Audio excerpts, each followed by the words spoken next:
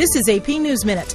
President Barack Obama spent his second day in Jerusalem visiting an Israel museum. Later, he met with Palestinian President Mahmoud Abbas in the West Bank city of Ramallah. Israeli police say Gaza militants have fired two rockets at southern Israel as President Obama is visiting the region. Police say no one was hurt. No group has claimed responsibility for Thursday's rocket firing. Cyprus's president met with party leaders to secure their support for a revised plan to raise $7.5 billion.